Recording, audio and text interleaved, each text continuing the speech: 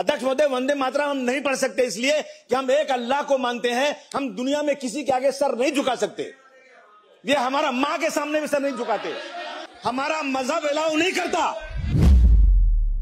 लाखो लोकांचा लाखो नव्हे संविधानासहित करोडो लोकांचा वंदे मातरमच्या प्रती श्रद्धा आहे. आणि अशा वंदे मातरमच्या संदर्भात त्यांनी जे काही मत या ठिकाणी व्यक्त केलं हे योग्य नाही आहे अबू भाई ऐसा कौन सा मजहब बोल सकता है कि अपनी माँ के सामने सिर मत झुका कोई मजहब नहीं बोलता आपका भी मजहब नहीं बोलता दुनिया का ऐसा कोई मजहब नहीं है जो ये कहेगा कि अपने माँ के सामने सिर मत झुका वंदे मातरम हे धार्मिक गीत नाही।